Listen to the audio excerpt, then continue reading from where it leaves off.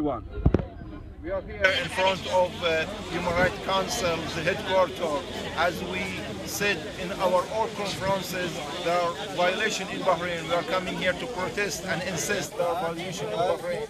Yes, like people in Bahrain protesting the street, we are protesting here in Geneva to give clear message that the people of Bahrain demanding freedom and democracy and equality. Yes, the mission here not just to be inside the conference, they are here in the street to show their solidarity of the Bahrain and meantime we're thanking those who are in support of us and coming here and, and this huge gathering indicated that that international community community is supporting people of Bahrain. Thank you very much.